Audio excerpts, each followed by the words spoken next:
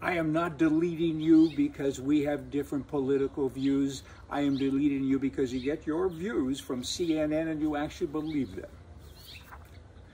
The owner of Canada's largest group of newspapers said yesterday that it's earned $700,000 in net profits in the second quarter. Big improvement because they've been losing money. But hey, I wouldn't brag about that. How come you made money? Because the government gave you the money. The government effectively owns you, right? Lock, stock, and barrel. They don't have title. They own you anyway because they support you. And now you're getting extra money, COVID money, and you have the audacity to stand up in front of God and everybody and say, ah, we're making money now. You have shareholders. They should make them happy. I don't know. It doesn't make me very happy. It's just another thing that says how mismanaged Canada is. There's no leadership, and they're giving away money to other countries, to newspapers. They own the media. This ain't good.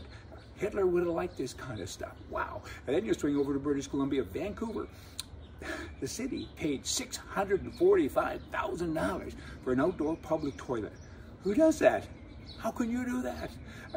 It's a prefabricated toilet. It was made in Oregon, and the cost apparently is 150 grand, which is still outrageous. I mean, what? Jeez, the rest of the money though was for water connections. There's apparently a big budget for this kind of stuff, a hundred million dollars. I don't know. They just keep on being themselves. I mean, this is, there are no words just saying. Schools, they need to be better. You know, kids need to be taught better stuff. Schools have money. They can afford to have the best teachers, but hey, they can't fire the ones that they have because they're socialists. They have a union, and you're not allowed to do that. And the money comes from school taxes. And I pay school taxes. You do. Everybody that owns property in Canada and the U.S. today, you pay school taxes. And you know what? Some complain. I don't. I mean, it's okay because I don't want to be in a country with stupid people. So why don't you use my money properly. Just say it. And then you have in North Carolina, you have a university, Elon University, that has canceled an event for white people to process their complicity in injustice because a meeting would exclude other races. So you can have meetings with just black people and other minorities, but you can't have it with the white folk, right? Okay, then, and then you have two U.S. senators, actual real senators. This is kind of bizarre, too, and they recently announced in public, again, in front of God and everybody, that they will refuse to confirm white nominees for any office. That, that needs a moment of silence, hey? It doesn't matter if you're qualified or not. They're saying, hey, you can't do this. It ain't legal. I don't think they can. Ah, and they're senators. See how I'm mumbling and stumbling? Because this is so bloody shocking to me. These are lawmakers. They're racist. They're total racist. What about other colors? What about white people? And they say, we won't confirm white nominees for any office. oh boy, racism is bad. Politicians who practice it, media who doesn't report it, they're also very bad.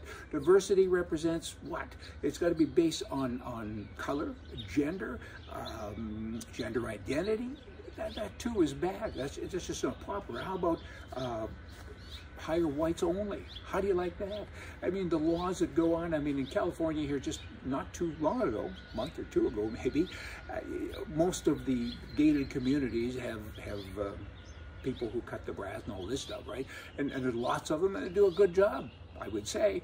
And I went up one day and I spoke to the foreman and, and I said, how many white people are on staff? Well, first day I said, how many people are on staff? And I think there's 120 or something. And I said, how many are white? He looked at me very strangely. He said, excuse me? I said, how many are white? He said, none. I said, is that legal?